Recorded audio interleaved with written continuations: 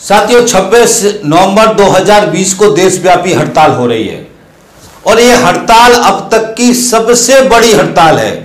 इतनी बड़ी हड़ताल कभी नहीं हुई है जितनी ताकतवर तरीके से, जितनी ज़्यादा संख्या में देश की जनता इस हड़ताल में शामिल हो रही है। इस हड़ताल के जो मुद्दे हैं, उसमें मजदूर के मुद्दे हैं, किसान के मुद्दे हैं और दुकानदार के मुद्दे हैं। इस संबंध में जो जानकारी है, जो वीडियो हम बना चुके हैं, उसकी लिंक मैं नोटिफिकेशन में डाल देता हूँ। 26 और 27 तारीख को किसान भी देशव्यापी आंदोलन कर रहे हैं। आपसे विशेष आग्रह है कि आप इन दोनों वीडियो को ज़रूर सुन लें, ताकि आप इस हड़ताल में कौन कौन से मुद्दे हैं, क्यों ये हड़ताल हो रही है, इस हड़ताल का कारण क्या है, ये हड़ताल करना क्यों ज़रूरी है, सरकार की क्या गलत नीतियाँ हैं आम जनता पर इन नीतियों का क्या असर हो रहा है? किस तरीके से नौजवान का जीवन बर्बाद किया जा रहा है? किस तरीके से कारखाने के मजदूरों का जीवन बर्बाद किया जा रहा है? किस तरीके से हमारे जो यूथ बच्चे हैं, जो कॉलेजों से, स्कूलों से पढ़ करके निकल रहे हैं, उनका कैसे जीवन बर्बाद होने वाला है? किस तरीके से किसानों की खेती को बर्बाद किया जा रहा है? किस तरीके से जो किसान के नौजवान बच्चे हैं उनके जीवन को, को बर्बाद किया जा रहा है। आम जनता है गरीब है खेत मजदूर हैं उनका जीवन कैसे बर्बाद किया जा रहा है? असंगठित क्षेत्र में निर्माण मजदूर पुल बनाते हैं रोड बनाते हैं सड़क बनाते हैं ये सारे मजदूरों का जीवन कैसे बर्बाद करने वाले हैं? इसको हमको समझना है साथियों। हमारा सबसे बड़ा सेक्टर है ट्रांसपोर्ट सेक्टर। जिसमें ड्राइवर है कंडक्टर है क्लीनर है मैकेनिक है एक बसें चलाते हैं दो बसें चलाते हैं छोटे छोटे लोडिंग ऑटो है किसी के पास एक ट्रक है दो ट्रक है। इस तरीके के जो लोग हैं जो ट्रांसपोर्ट में काम करते हैं इसके बाबू है, इसके जो स्टाफ के लोग हैं जो हमाली करने वाले मजदूर हैं ये सारे जो लोग हैं, इनका जीवन कैसे बर्बाद किया जा रहा है सरकार की गलत नीतियों के कारण से, इसको साथी हमको समझना है। उसके साथ में साथियों, एक बहुत बड़ा सेक्टर है स्कीम वर्कर ये वो वो मजदूर है जो मेहनत करते हैं, मगर इनको मेहनत का पूरा मेहनताना नहीं मिल रहा। इनको सरकार श्रमिक नहीं मानती। इसमें आंगनवाड़ी है, कार्यकर्ता है, सहायिका है। इसमें आशा उषा सहयोगिनी है। इसमें जो मध्यान्ह भोजन कर्मी है, इस तरीके के बहुत सारे स्कीम वर्कर हैं जिनको श्रमिक नहीं माना जा रहा, जिनको मजदूर नहीं मानती है सरकार तो इनकी इनकी क्या समस्या है, उसको भी साथी हमको समझना है। उसके साथ में सबसे बड़ी बात जो समझने की ज़रूरत हो, कारखानों में जो मजदूर हैं। कारखानों में जो नौकरी कर रहे हैं, चाहे वो परमानेंट हो, चाहे वो स्टाफ में हो, चाहे वो फिक्सटर में हो चाहे वो ट्रेनिंग में हो, चाहे वो अप्रेंटिस में हो, ये जो यूथ बच्चे हैं, जिनका सबसे खतरनाक शोषण हो रहा है हड़ताल क्यों हो रहा है, ये सारा समझना बहुत ज़रूरी है। इसलिए आप सभी से मेरी अपील है कि ये जो वीडियो हमने नोटिफिकेशन में डाले हैं, इनको ज़रूर सुने। तो ये सारा मेहनत का स्वर्ग है। जो अपनी मेहनत करके रोजी रोटी चलाता है, अपने घर परिवार को पालता है, अपने बच्चों को पालता है ये यदि सब कुछ नष्ट हो जाएगा साथियों तो हमारे बच्चे हैं। ये रोजी रोटी हमारी नष्ट हो जाएगी। रोजी रोटी नहीं होगी तो हमारे बच्चों को हम कैसे पालेंगे? दो वक्त की रोटी कैसे होगी? बच्चों को कैसे हम पढ़ा पाएँगे? बच्चों को का इलाज कैसे करा पाएँगे? सब चीज़ पैसे से जुड़ी हुई है। और पैसा हमको मजदूरी से मिलता है, श्रम से मिलता है, मेहनत से मिलता है। अगर हम श्रम की कीमत से मिलता है जो श्रम की कीमत डिसाइड होगी, उसी तरीके से हमें मजदूरी का पैसा मिलेगा। इसलिए साथियों, बहुत महत्वपूर्ण सवाल है जिसको हमको समझना है कि श्रम की कीमत सही मिले, मजदूरों को, नौजवानों को परमानेंट नौकरी मिले, परमा, और न्यूनतम वेतन कम से कम इक्कीस हज़ार रुपये महीना हो। ये हमको समझना है। हमको ऐसा रोज़गार मिले, परमानेंट नौकरी मिले, ताकि हमारी और हमको कोई भी कारखाना मालिक नौकरी से भगा ना पाए। बार बार भगाने का काम ना हो। हमको स्थायी नौकरी मिले, स्थायी रोज़गार मिले, ताकि हमको बैंकों से लोन मिल सके, घर का हम छोटा सा घर बना सके। ये सब चीज़ें साथियों जुड़ी हुई हैं, जिसको हमको समझना है। और मैं ये भी कहना चाहता हूँ, साथियों, आज हम सबसे बुरी परिस्थिति में, सबसे विकट परिस्थिति में हैं। ये देश के यूथ का, नौजवान का, आम जनता का ये सबसे बुरा वक्त है।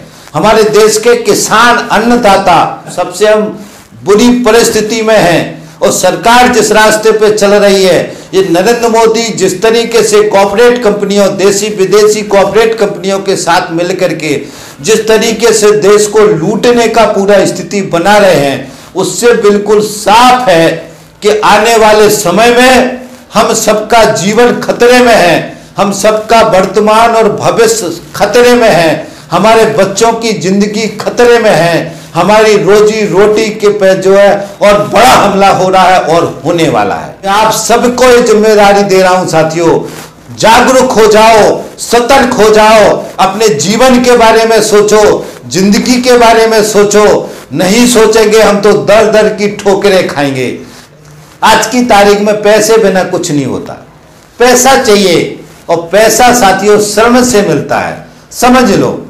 श्रम से मजदूरी की कीमत है। यदि आज इक्कीस हज़ार रुपये महीना, ये नरेंद्र मोदी की सरकार से हमने घोषित करा लिया दबाव करके तो हमारे जीवन में खुशहाली आ जाएगी। पैसा चाहिए पैसा चाहिए। पैसा श्रम से मिलेगा, नौकरी से मिलेगा, परमानेंट नौकरी से मिलेगा, स्थायी रोज़गार से मिलेगा। तो हमको इस बात को समझना है, अच्छी तरीके से समझना है, और समझ करके इस आंदोलन में शामिल होना है। ये मेरा अपील है। हिंदू मुसलमान का चल रहा है, इस राजनीति को समझना है। हिंदू मुसलमान की जो राजनीति है, ये पॉलिटिक्स है। ये हमारे, हमको दिमाग को गुलाम बनाने के लिए है। हमारे दिमाग से हमारी रोजी रोटी का, पेट का सवाल हम छोड़ दें, हम उससे भटक जाएँ, उसके लिए ये हिंदू मुसलमान चल रहा है। ये हमको समझना है। इसीलिए साथियों, हमको एकता बनानी है। वो चाहे हिंदू हो, चाहे मुसलमान हो चाहे ब्राह्मण हो, चाहे ठाकर हो, चाहे पिछड़ा वर्ग का हो, चाहे दलित हो, चाहे शूद्र हो, सब सारे मेहनत कस वर्ग की एकता बनाना है। जो भी मेहनत करने वाला है, जो मेहनत कस है, वो हमारा भाई है। हमको ये भी समझना है नंगे रूप में कि आज जो है खुले रूप से जो आम आदमी है, गरीब आदमी है, मजदूर है, किसान है, कर्मचारी है, वो गरीब हो रहा है। मजदूरी की कीमत घट रही है महँगाई के हिसाब से श्रम की कीमत घट रही है, स्थायी नौकरी खत्म हो गई है। ठेकेदारी में फिक्स टर्म में ट्रेनिंग में बहुत कम पैसों में काम कराया जा रहा है। तो श्रम की कीमत घट रही है और पूंजीपति का मुनाफा बढ़ रहा है। पूंजीपति दिनों दिन माला माल हो रहे हैं। इसके कारण से अमीरी और गरीबी की असमानता बढ़ रही है। गरीब और गरीब हो रहा है, गड्ढे में जा रहा, अमीर और अमीर हो रहा है। और अमीर हो रहा है, पैसे के ऊपर पैसा कमा रहा है। ये साथियों, सरकार की गलत नीतियों का परिणाम है। हमारा कोई नसीब खराब नहीं है, हमारी किस्मत खराब नहीं है। नसीब किस्मत से इस बात का कोई संबंध नहीं है। इस बात को समझ लो। भगवान का इस बात में इसमें कोई रोल नहीं है। मंदिरों, मस्जिदों, गुरुद्वारों, चर्चों का इस मसले से कोई लेना देना नहीं है। आज पैसा चाहिए, पैसा श्रम से आएगा, पैसा जब तक नहीं आएगा हम खुश नहीं रह सकते हैं। इस बात को गांठ बाँध लो, इस बात को अच्छी तरीके से समझ लो, यही सच है, यही सच्चाई है। इसलिए हमको पैसे के लिए लड़ना है, पैसे के लिए लड़ना, धन के लिए लड़ना है। और धन के लड़ने के लिए हमको श्रम की कीमत बढ़े। श्रम की कीमत सही तरीके से मिले, हमको स्थायी रोज़गार मिले। रोज़ाना भगाने वाला काम ना हो, रोज़ाना हमें ये ना कहें कि आज भग जा। ये नहीं करेगा तो नौकरी से भगा दूँगा। इतना काम नहीं करेगा तो नौकरी से भगा दूँगा। मेरी बात नहीं सुनेगा तो नौकरी से भगा दूँगा। ये नौकरी से भगाने का जो डर है, इस डर को खत्म करना है। हमारे मित्र हैं जो भारतीय जनता पार्टी में जो यूथ, जो बीजेपी के साथ जुड़ा हुआ है, उनसे मेरा सवाल है, आरएसएस के लोगों से सवाल है। क्या आप स्वदेशी की बात करते थे? आप ये कहते थे, देश में स्वदेशी आएगा, स्वदेशी आंदोलन चलाएँगे, आप 100 परसेंट विदेशी हो गए। क्या यही आरएसएस है? यही राष्ट्रीय स्वयंसेवक संघ है? यही भारतीय जनता पार्टी है, जो जनसंघ के समय में स्वदेशी का नारा लगाते थे? आज 100 परसेंट देशी विदेशी पूंजीपतियों का हमारे देश पे कब्जा करा रहे क्या ये भारतीय जनता पार्टी आरएसएस इसलिए है कि नौजवानों का नौकरी, परमानेंट नौकरी खत्म कर दें आप? इसके लिए बीजेपी आरएसएस बनी है कि नौजवानों की नौकरी खत्म कर रहे हैं फिक्स टर्म कानून लेके आ रहे हैं, परमानेंट नौकरी को खत्म कर रहे हैं, गुलामी में नौकरी कराने की बात कर रहे हैं। आठ घंटे की जगह बारह घंटे काम कराने की बात कर रहे हैं। इसके लिए भारतीय जनता पार्टी को वोट दिया जनता ने। किसानों के लिए जो देशी विदेशी कॉपोरेट कंपनियों को ला दिया उसमें। आज की तारीख में किसान लुट रहा है। न्यूनतम समर्थन मूल्य पे किसान की खरीदी नहीं हो रही। न्यूनतम समर्थन मूल्य सभी फ़सलों के मिले। इसकी बात नहीं कर रही है नरेंद्र मोदी की सरकार, भारतीय जनता पार्टी वाले। और उसको देशी विदेशी कंपनियों के हवाले कर दिया। उसको लूटने का रास्ता खोल दिया। वो लुटेगा बेचारा, किसान बर्बाद हो जाएगा, इसके लिए तुमको वोट दिए थे। ये आरएसएस की राजनीति है। ये हमको समझना है। दुकानदारों को बर्बाद, सौ परसेंट एफ़ ऑनलाइन मार्केटिंग हो गई है। ये सारी देशी विदेशी कंपनियाँ हमारे फटकर व्यापार पे कब्जा कर रही हैं। कब्जा कर चुकी हैं। सारे स्ट्रक्चर लग गया है। दुकानदार बेचारे दुकान पे बैठे ग्राहक की टुकटुकी लगा के देखते हैं कि चार ग्राहक आ जाएँ। मल्टीनेशनल कंपनियाँ घर घर सामान बेच रही हैं। तो ये सारा जो कर दिया इससे बेचारे दुकानदार बर्बाद नहीं होंगे। और दुकानदार भाइयों से मैं पूछना चाहता हूँ, आप बता दो आपकी दुकान पहले जैसे चल रही है। और आप कब तक चुप रहोगे? कितने दिन डरोगे बीजेपी वालों से? उनसे पूछो बीजेपी आरएसएस के लोगों से ये सौ परसेंट एफ़ लेके आए। और एफ़ का विरोध कर रहे थे। कांग्रेस के समय में देश बंद किया बीजेपी, आरएसएस वालों ने। कितने झूठे लोग हैं। आप लोग इनसे पूछो जरा। बीजेपी वालों से पूछ लो, आरएसएस के लोगों को बुला के पूछ लो कि आप 100 परसेंट एफडीआई का विरोध कर रहे थे। अब नरेंद्र मोदी के आने के बाद 100 परसेंट एफ़ क्यों ला दी? ये सवाल पूछ सकते हो ना। ये पूछ लो।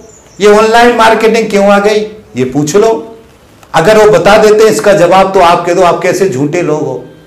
हम आपको क्यों वोट करें? हम बीजेपी के पीछे क्यों चलें?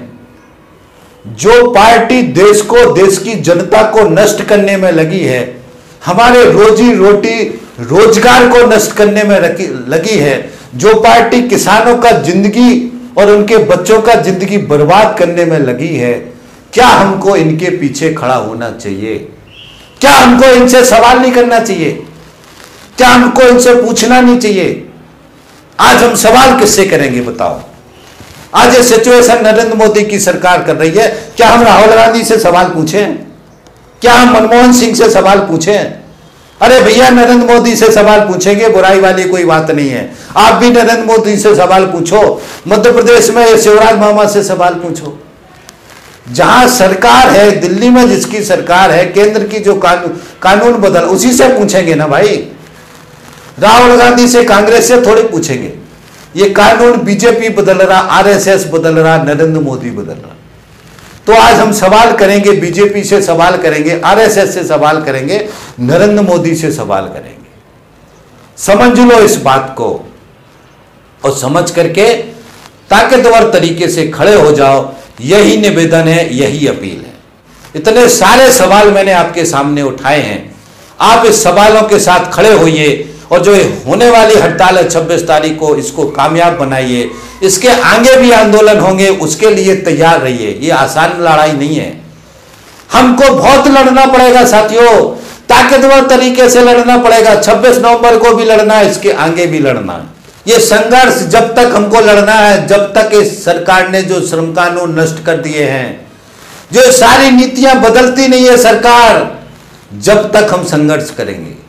ये समझ लो दिमागी रूप से तैयार हो जाओ।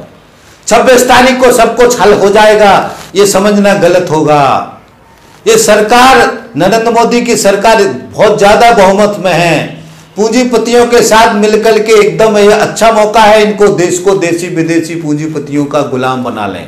देश को लूट डालें। इसलिए आसानी से मानेंगे नहीं है इसलिए हमको लड़ाई तगड़ी होगी। ताकतवर होगी, ये लड़ाई केवल 26 नवंबर को खत्म नहीं होगी। हमको 26 नवंबर को लड़ना है, इसके आगे भी लड़ना है। ये लड़ाई जब तक लड़नी है, तब तक ये संघर्ष चलेगा।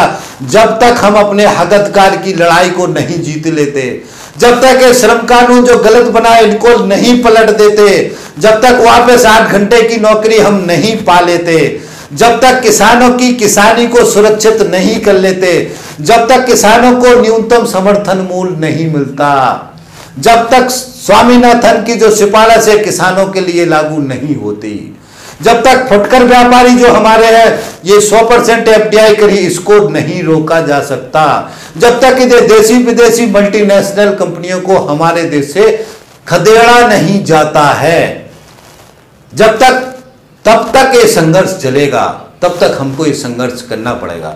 जब तक हम नौजवान का रोजी रोटी नहीं बचाते, जब तक नौजवान को परमानेंट नौकरी ना मिले, जब तक न्यूनतम वेतन इक्कीस हज़ार रुपये महीना नहीं होगा, जब तक हमारी नौकरी परमानेंट नहीं होगी, जब तक ये ठेकेदारी प्रथा खत्म नहीं होगी, जब तक ये फिक्स्टर में हमारा शोषण चलेगा, तब तक हम लड़ेंगे साथियों, तब तक हमको लड़ना है।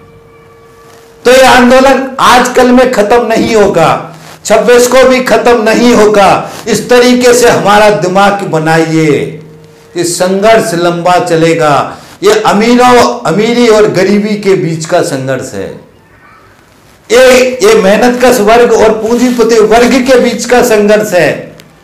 एक तरफ़ पूंजीपति वर्ग है जिसके साथ में भारतीय जनता पार्टी, आरएसएस जैसे उनके गुलाम हैं।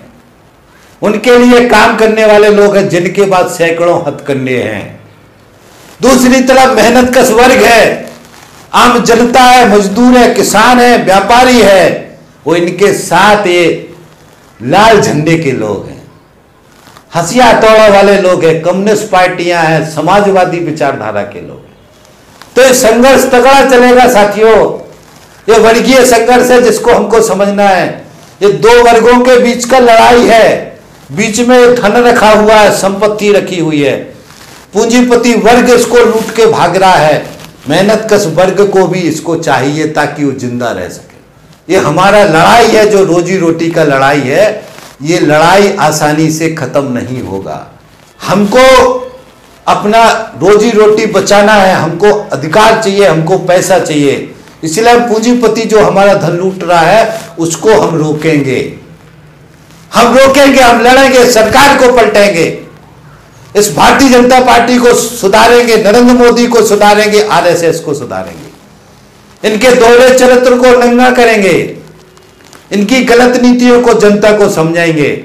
सबको मिला करके लड़ेंगे। मजदूर, किसान, छोटे दुकानदार मेहनत कस वर्ग। है 99 फ़ीसदी है जिस दिन ये खड़ा हो जाएगा, ये दिखेंगे नहीं।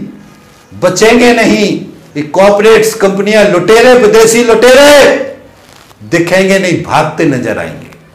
ये साथियों, हमारी लंबी दूरी की लड़ाई है। जिसको समझना है, दिमाग में रखना है और दिमाग में रख करके संघर्ष को आगे बढ़ाना है। आज सोशल मीडिया पे हम देश के यूथ को जोड़ सकते हैं। सोशल मीडिया एक ऐसा माध्यम है, किसान को जोड़ सकते हैं मजदूर को जोड़ सकते हैं व्यापारी को जोड़ सकते हैं। इस वीडियो को देश की हर यूथ तक, हर किसान तक, हर दुकानदार तक पहुँचा दो। ये जानकारी मिलते ही दिमागी रूप से तैयार हो जाएगा वो। उसको समझ में आ जाएगा उसकी ज़िंदगी का खतरा किससे है। फेसबुक पर इसकी लिंक पेस्ट करो व्हाट्सएप पर डालो फेसबुक के ग्रुप से बहुत सारे ग्रुप्स में शेयर करो मैसेंजर में शेयर करो, जहाँ जहाँ सोशल मीडिया पर डाल सकते हो, वहाँ वहाँ शेयर करो। बार बार शेयर करो, दस बार डालो। ताकि लोगों का दिमाग खुले। ये ज़िम्मेदारी मैं आपको दे रहा हूँ। यदि कोई सवाल है तो कमेंट्स बॉक्स में लिखो। यदि मैंने कुछ गलत बोला है तो कमेंट्स बॉक्स में लिखो। मैं आपको समझाऊँगा। मेरे चैनल पर चले जाओ प्ले लिस्ट पर चले जाओ। इतने सारे वीडियो डले हुए हैं, आप उनको सुन लो। हर हर सवाल का जवाब है। हिंदुत्व की राजनीति समझना चाहते हो? अभी मैंने वीडियो बनाया है। दर्शन सीरीज़ का एक वीडियो है। ऋग्वेदिक काल से मैंने शुरू किया है, आज हिंदुत्व की राजनीति तक समझा दिया है। सुन लो, वीडियो सुन लो, पूरी राजनीति को समझ जाओगे। सबको शेयर कराइए साथियों देश को बचाना है, भारत माता को बचाना है, हमें रोजी रोटी को बचाना है, हमारे अपने बच्चों की ज़िंदगी को बचाना है, हमारे बूढ़े माता पिता की ज़िंदगी को बचाना है। इसके लिए जागरूक हो जाओ। तो शेयर करवाने में सहयोग करें, ज़्यादा से ज़्यादा शेयर करवाएँ, ये मेरी अपील है आपसे। हमारा चैनल सब्सक्राइब कर लें। सब्सक्राइब नीचे लिखा रहता है उसको दबाना होता, घंटी दबाना होती। आप हमारे चैनल के साथ जुड़ जाएँ। आपको हम निरंतर जानकारी देंगे। ये जो संघर्ष चलेगा, इसकी पूरी पूरी जानकारी देंगे। आगे जो संघर्ष चलेगा, संघर्ष की योजना जो बनेगी, ट्रेड यूनियंस जो योजना बनाएँगे, वो सारी जानकारी हम देंगे आपको। इसके लिए आपको हमारा चैनल सब्सक्राइब करना पड़ेगा।